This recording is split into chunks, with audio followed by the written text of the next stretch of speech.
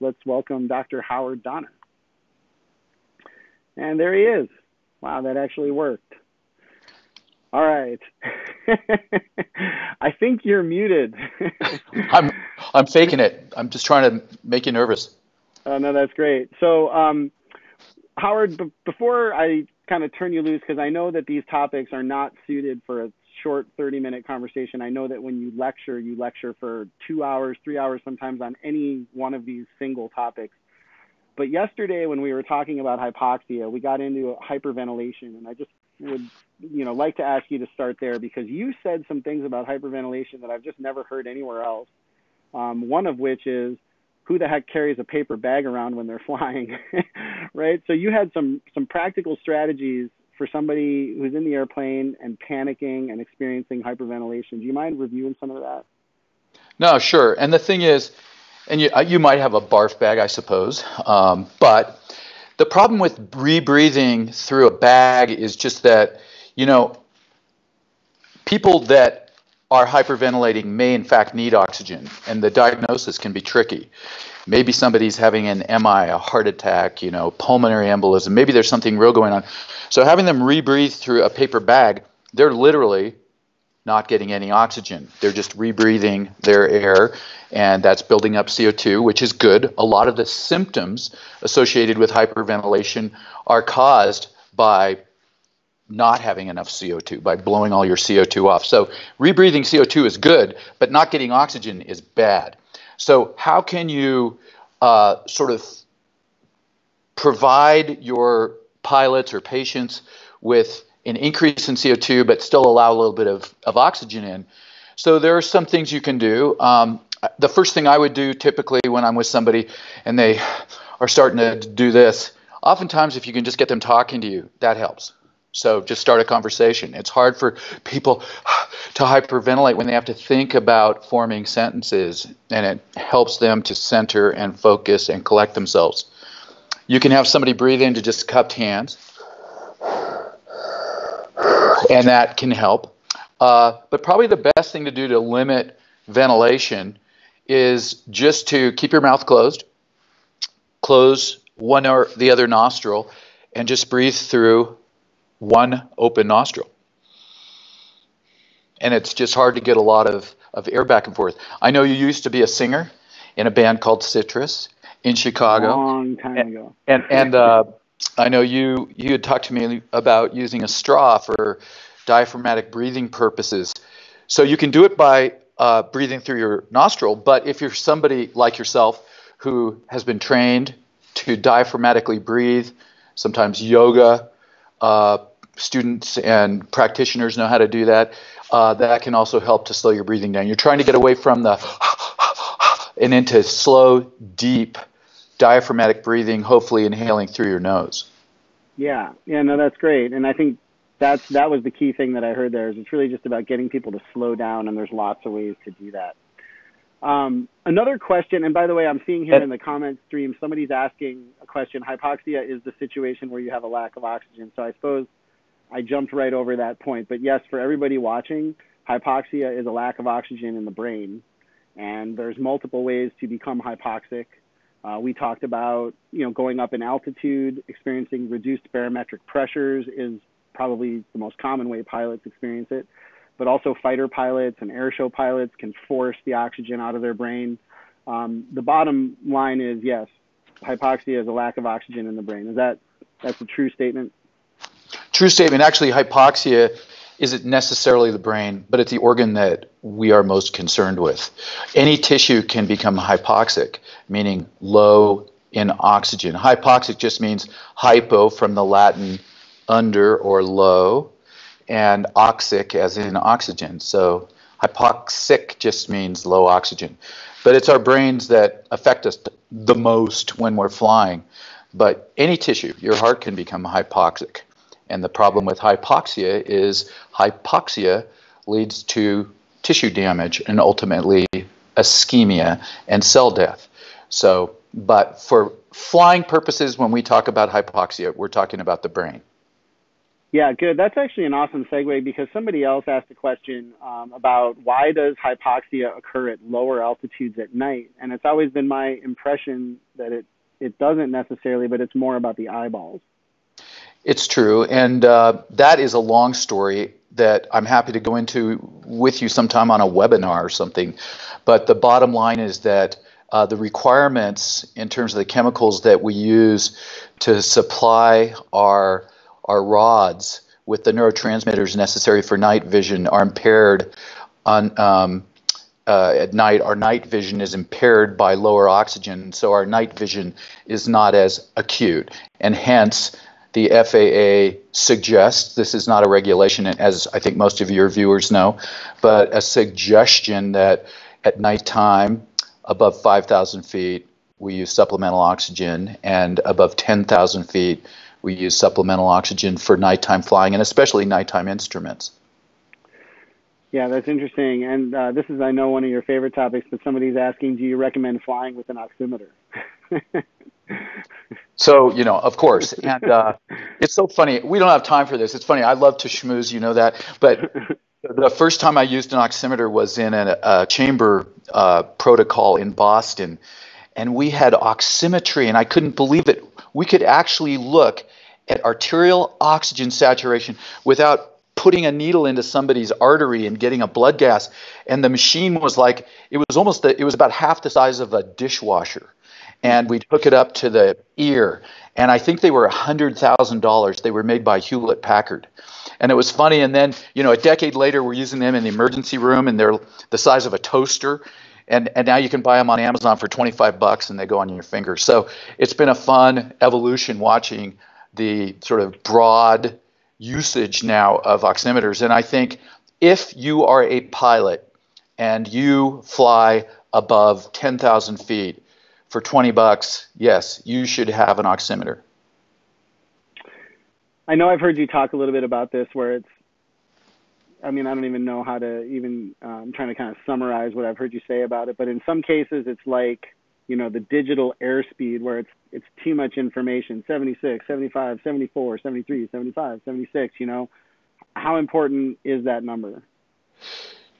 Well there's two answers. It's super important and not so since it's often all we have it's super important and if you're flying with an oxygen system we didn't talk on your instagram feed at all about high altitude flying but high altitude flying is risky business uh, for unpressurized airplanes. You know, we all head up there, and it's funny. I mean, you know, I look at what Finer Point stands for, and in many ways, if I had to summarize your whole brand, it's standard operating procedures. You know, building in the same kind of redundancies and operating procedures that the airlines have. Well, there's very little redundancy when you're flying on an oxygen system in a piston aircraft Europe, as I used to do, I used to fly a Turbo 206 for gentlemen in Telluride. And we would commonly get above the weather, and we'd be in this little, you know, piston flying at 22, 23, 24, 25,000 feet. Um, there's no room for error there. And how do you know that your oxygen system is working? I ended up installing a little flow meter in the tubes that hung down, so at least I could see that they were green. But one redundancy is fly with two pilots so that one pilot can observe the other.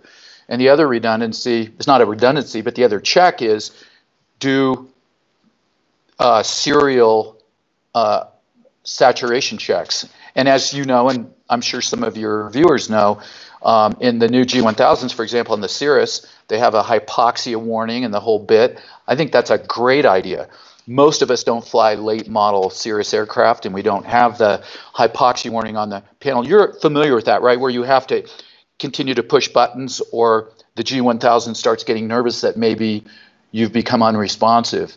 So it requires a certain series of button pushes. Otherwise, there's a hypoxia alert that you have to respond to. And if you don't, the plane will has an automated system for going lower. Wow, I didn't know. I don't think I've seen that. That must be the the newer software, newer yeah. models. Um, and it's a it's a fantastic idea, and I think it goes down to fourteen thousand. And maybe some of your viewers will say, you know, Donner's way off on this. As I recall, it goes down to fourteen thousand, and then you have to push some buttons. And if you still don't respond, I think it goes down to eleven thousand. And I guess you just hope you're not flying over Mount Whitney. Yeah, right. You know, and but you know, back to your point about um, oh yeah, be, being up, well, just being up there at high altitude. I mean, the the few times that I've taken, like, of course, the SR-22, they say it can go to 25,000 feet. So what do you do the first time you get in when you try to take it to 25,000 feet? Uh, but it's not a particularly comfortable place to be in an airplane like that, you know, up in the flight levels.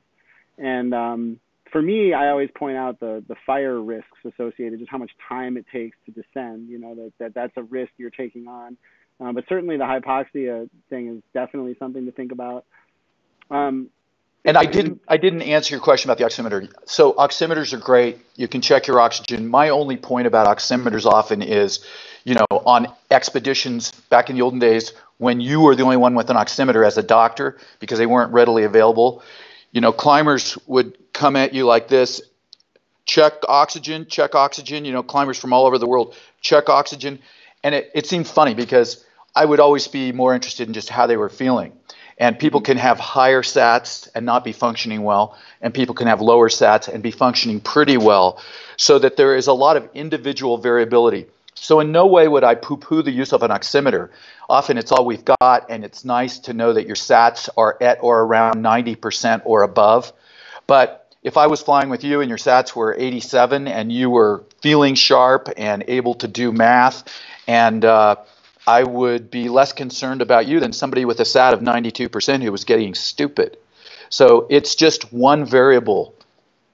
Yeah, that's interesting. And, and sometimes it seems to me, because I do fly with one, especially when we go out in the mountains, we don't typically have oxygen, right? But we're flying at 11,000 feet all day, sometimes popping up above 12.5 to get over ridges and stuff like that. Um, is it in my head that if I take a really deep breath from the diaphragm and then fill my lungs and count to five and stick that thing on my finger, that the number goes up? Is Not at all. Immediate? yeah. No, it's immediate. And uh, in fact, uh, there is a guy, ah, I forget his name, but he's the Iceman. I don't know if you've read about him. He's kind of popular right now on YouTube. Have you heard of YouTube? Um, I have. Yeah. And and and uh, I forget his name, but he sits out on the ice and he can hold his breath and he does all these oh, things. Oh, yeah. And, yeah, and he's been studied, and you know, part of what he does is just voluntary deep breathing, and he has a breathing technique, and there's no question that you can do it. The only problem with deep breathing is that most of us can't persist and we can deep breathe voluntarily for so long and then we just forget and then our sats drop again. You, used to always seem funny to me in the emergency room or anywhere. Examine a patient and i'd listen to their lungs and i go okay take a deep breath and they take a deep breath and then i say take another deep breath another deep breath. Then i'd want to listen to their heart and i'd say okay breathe normally and they'd go like how do you breathe normally when you're thinking about it? You know you, you can't. Um, and so you know, typically, unless you're thinking about breathing hard, which works, you're going to stop. So on mountaineering expeditions, there are all sorts of techniques for pursed lip breathing and so-called grunt breathing. Um, I won't go into detail. I'll just tell you there are techniques at high altitude to increase your oxygenation, and they work. Unfortunately, they don't work while you're sleeping, so people still get sick at altitude, et cetera, et cetera. And usually, people can do this for an hour, and then they forget, and then they, you know, deteriorate. So it's complex. Yeah, that's yeah. that's fascinating. And there's also someone asking about acclimation, saying if the FAA recommends oxygen above 5,000 feet at night, and they live at 5,000 feet, do they still need the oxygen at night? There is some degree of acclimatization. It always seemed funny to me. Um, you've heard me say this before, but my house, when I lived in Telluride, I'd lived there for 10 years. My house was at 10,000 feet. Hmm. So it, it, seemed kind of funny. Um, you know, I would fly out of Telluride living at 10,000 feet and I'd go up above 12.5. And as you said the other day, I hope the FAA isn't listening, but uh, I, I would fly for more than 30 minutes and not use oxygen because I lived at 10,000 feet. Uh, so, in answer to question, the one thing that is very clear after spending years working, living, doing research at altitude is that human variability is profound, and that's true for altitude acclimatization. So I would say to the viewer that's asking, it would depend. Um, if you're having trouble with your night vision, um, certainly, even if you're acclimatized, using oxygen may still be helpful. But to what degree depends on your innate genetics and your previous acclimatization, both. Got it. And this is sort of a related question, but Frank is asking Is it correct that older pilots should use extra oxygen at lower altitudes to prevent early fatigue? It, it, it's true. Um, there are a lot of things about aging brains that are different than younger brains. And do I have time to digress for a moment? Because it's very interesting. Yeah, I think everyone wants to hear it. okay. So one of the cool things, in fact, you know, I like to show slides. So you know, here, here's here's a slide of uh, some of the things that change with acclimatization and adaptation. And one thing that's very interesting is as you get older, you're actually able to go higher typically with fewer symptoms. And I thought, as my hair started turning gray, wow, this is something to really look forward to at altitude, that people tend to do better at altitude as they get older. And I was very excited about that. And in fact, it's definitely true. And I won't bore you or your viewers with stories, but I can tell you that going to the same base camps that I would go to on a climb, whatever it was, uh, I would notice, wow, I used to always get sick my first night here, and I feel great until I started learning about the intracranial dynamics that lead to the fact that we feel better as we get older. And it turns out that when you go to altitude, there are a lot of changes, but often there is an increase in cerebral blood flow, increase in blood flow to the brain.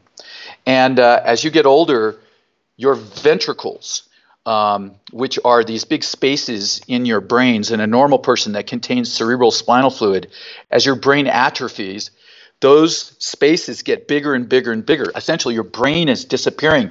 So your brain becomes more compliant.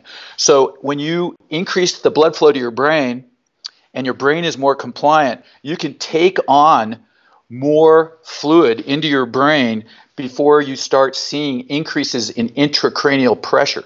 So, in other words, your brain is getting smaller, so you can withstand uh, more fluid with less pressure. So, it's great that now I feel better at altitude, but when I think about why it is, because my brain's smaller, it doesn't make yeah. me happy. No, no, um, not so good. but but but in answer to the question, yeah, as as we age, more oxygen is a good thing at altitude, and it just helps with cerebration or thinking. And you know, you can just study cognition, and I've been involved in neuropsychiatric studies on older versus younger pilots, and the aging brain has more trouble often with cognition. And uh, so oxygen is a good thing in that regard. And that's kind of a generic question, and I hope I didn't disappoint your your viewer, but that's the easiest way to put it. Yeah, no, that's great. I'm just um, I'm going to move through. I'm going to kind of shift topics a little bit because I know we only have you for a certain amount of time, and um, I know that you and I are talking about doing something a little bit longer than a 30 minute session because every time we do this we run out. Did you figure out a day or a time or anything yet?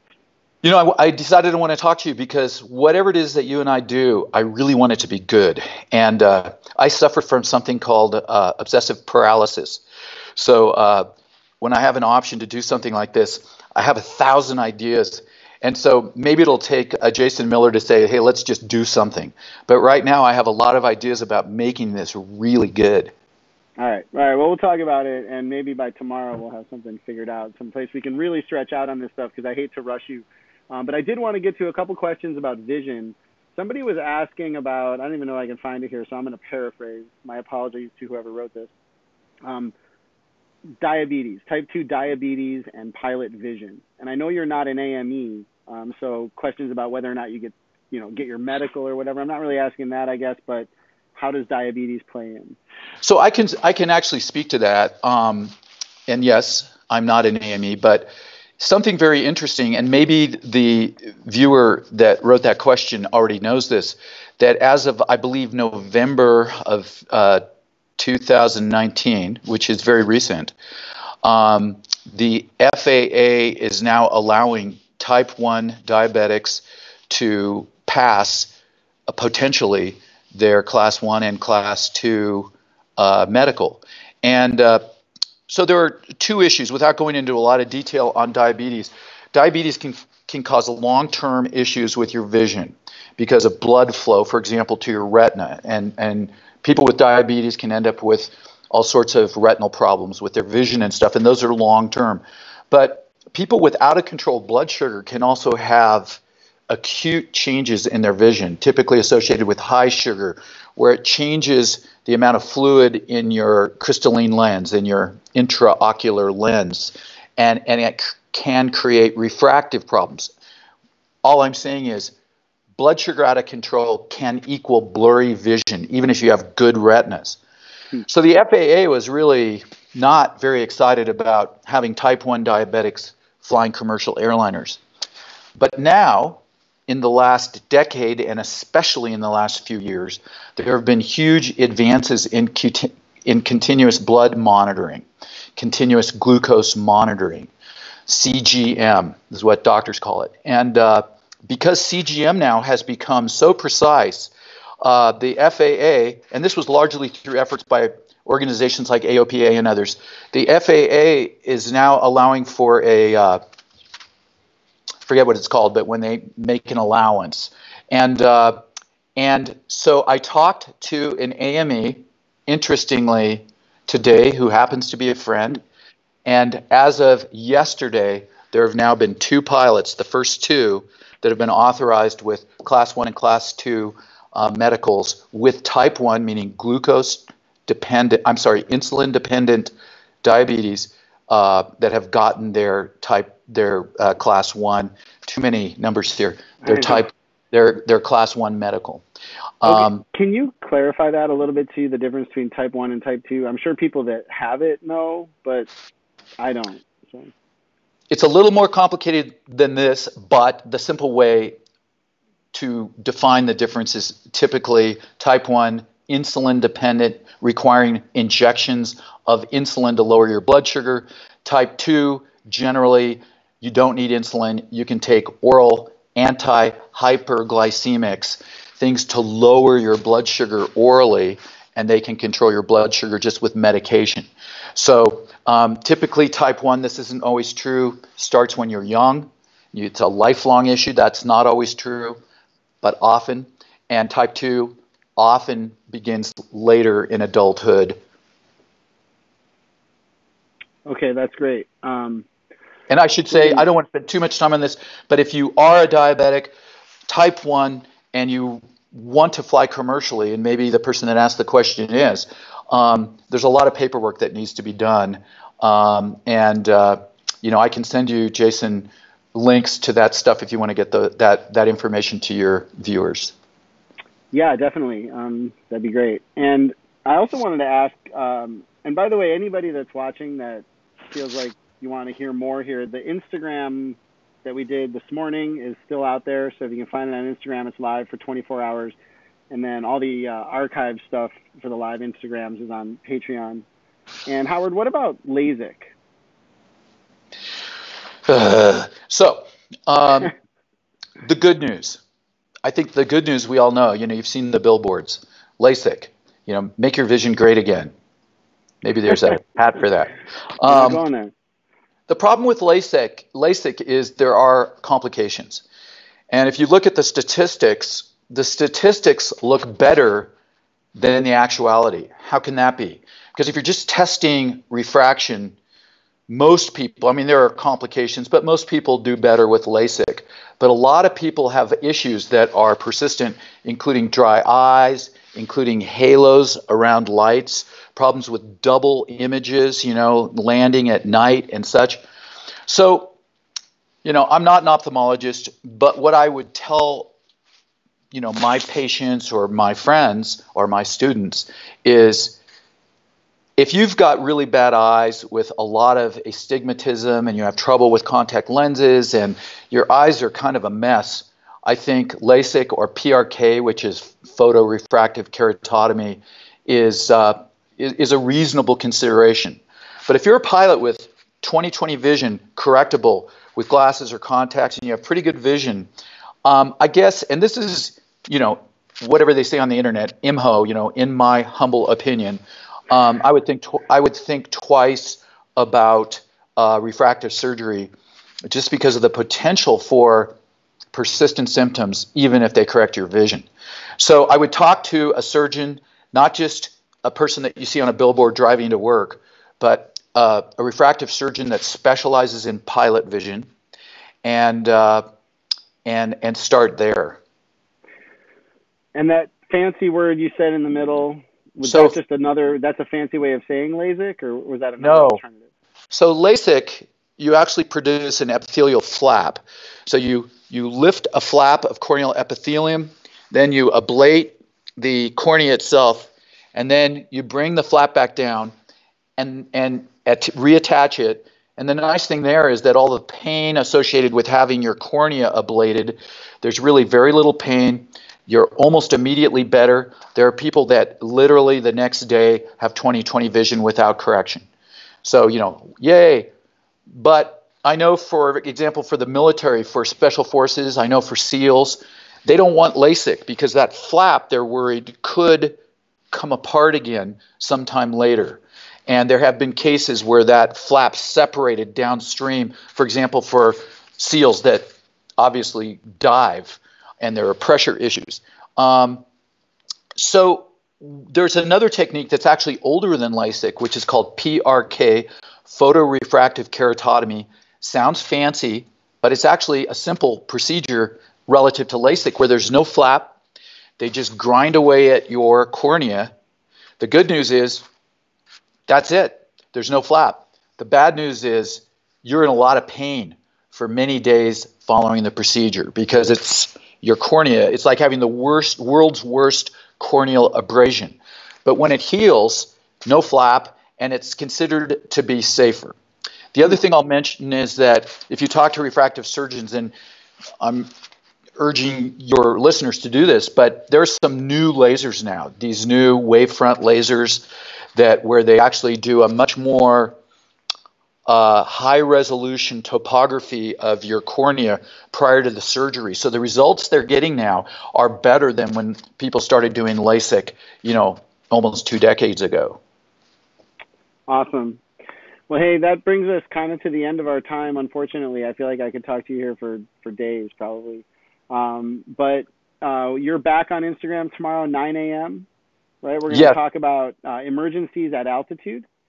And, well, um, Go ahead. Yeah, specifically uh, how flight crews and cabin crews deal with medical emergencies on board. And you know, possibly listeners are thinking, well, I'm not a commercial pilot, but it's pretty interesting. You know, the, the kinds of kits that are carried on commercial airliners. Do they carry oxygen? What kind of training do they get? What do the pilots do when there's a medical emergency? You know, how do they talk to the ground? You know, some of the stuff uh, I won't belabor it and make it really boring, but we'll just do a quick run through sort of some of the systems that are in place for commercial airliners.